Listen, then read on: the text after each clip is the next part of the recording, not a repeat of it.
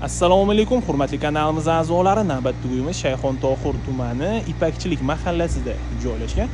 Uyimizda to'rt sotix to'qqizta xonadan iborat uyimiz atrofida barcha sharoitlar bor. Mahallamizda mana shunaqa chiroyli qilib asfalt qilib qo'yilgan. Mahallamizda juda yam fayzli va juda yam tinch mahalla. Yangi elitniy mahallada joylashgan ko'rib turganingizdek uyimizdan tashqarisiga ham bitta moshina qo'ysa bo'ladi. Uyimizdan tashqarisiga ham зеленая zonaga joy ajratilgan.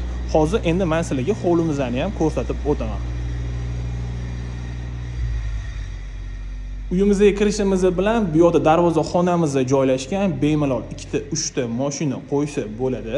Uyimizda korobka holatida yetmish sakson foiz ishi bitgan yuz foiz pishgan g'ishtdan ko'tarilgan. Uyimizda ikki qavat uchta urvilli uy. Uyimizni tom qismi ham yuz foiz bitgan. Hovlimizni o'rtasida bo'lsa ozgincha yeri ham bor. Bemalol зеленая zona yoki basseyn qilib qo'ysanglar ham bo'ladi. Bu yoqda uyimizni kotelniysi joylashgan sifatli оборудованиелар o'rnatilgan hammasi грамотный qilingan ko'rib turganinglardek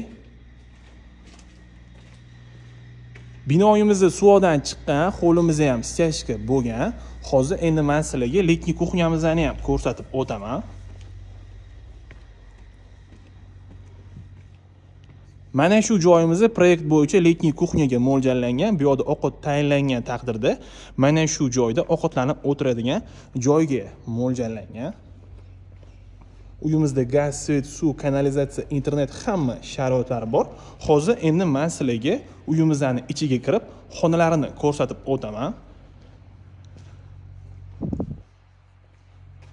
Uyimizni podvaliga hovli ya'ni mana shu joydan ham tushsa bo'ladi va binoyimizni ichidan ham tushsa bo'ladi. Uyimizni tegi полный podvaldan iborat.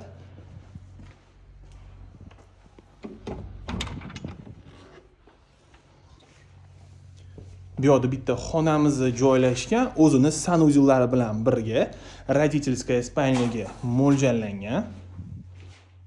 Hovliga qaragan xonalarimizga panorama romlar o'rnatilgan.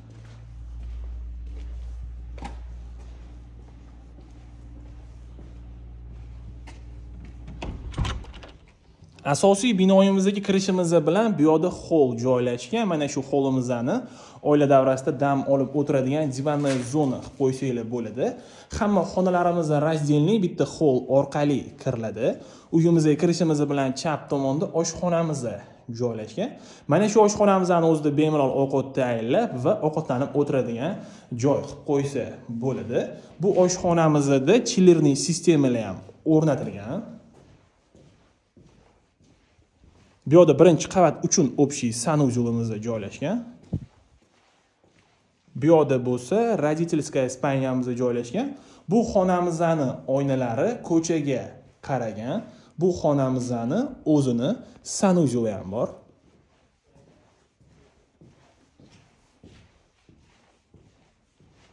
Bu yoqdan bo'lsa ikkinchi qavatga ham chiqib ketsa bo'ladi va podvalga ham tushsa bo'ladi. Hozir aytib o'tganimdek uyimizni tegi полный podvaldan iborat. Bu yoqda bo'lsa zal joylashgan.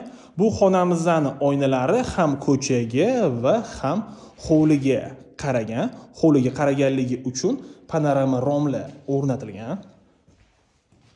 Hozir endi man sizlarga ikkinchi qavatdagi xonalarni ham ko'rsatib o'taman. Uyimizda juda yam sifatli qurilish mollari ishlatilgan. Qavatlarimizni orasiga plita qo'yilgan.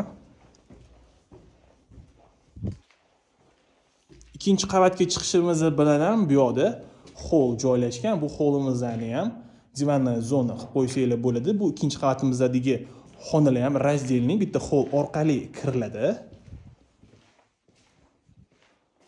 Bu yoqda bitta spaniyamiz joylashgan.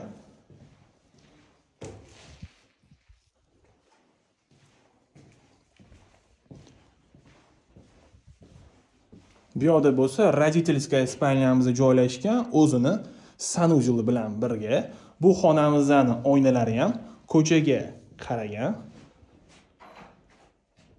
Mana shu joyimizda bo'lsa shkopga mo'ljallangan. Uyimizni isitish uchun mana shunaqa sifatli radiatorlarni ham ko'rishinglar mumkin.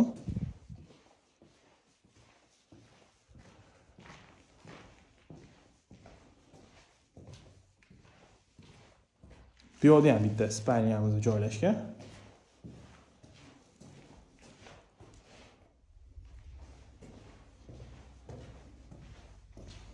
Bu yoqda bo'lsa sanuzellarimiz joylashgan.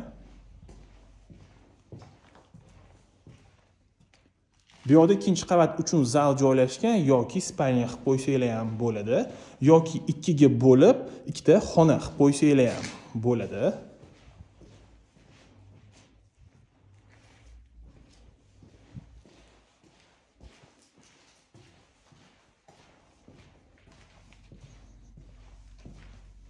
Bu hovlimizdan bo'lsa balkonga ham chiqib ketsa bo'ladi. Mana shunaqa kichkina balkon qilingan kofe ichadigan joy qilib qo'ysanglar ham bo'ladi va manzarani tomosha qilib o'tiradigan joy qilib qo'ysanglar ham bo'ladi. Ipakchilik mahallasidan korobka hovli qidirayotganlar bo'lsa bemalol murojaat qilsanglar bo'ladi. Bu uyimiz yoqqan bo'lsa layk bosinglar va o'z fikringlarni kommentariyalarda qoldiringlar.